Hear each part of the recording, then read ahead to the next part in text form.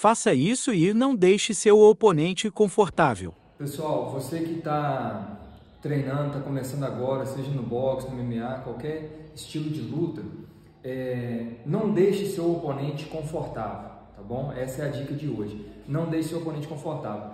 Quando, eu vou dar três dicas aqui para você não deixar seu oponente confortável. A primeira dica é usar finta. Você vai fingir que vai fazer os golpes. Então, pode, pode fingir com, com a mão, pode mexer o pé, pode abaixar. Então, todo tipo de finta vai ajudar a, a deixar o oponente incomodado. Outra dica é marca a distância. Usa a mão da frente para marcar a distância. Isso incomoda muito também, incomoda a visão do oponente, deixa o oponente preocupado. E a última dica que eu vou dar é treine sua defesa. Tenha uma boa defesa.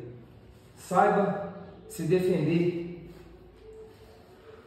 Porque uma boa defesa incomoda o oponente, porque ninguém fica confortável quando não acerta. Então, se você tem uma boa defesa, você também vai deixar seu oponente desconfortável.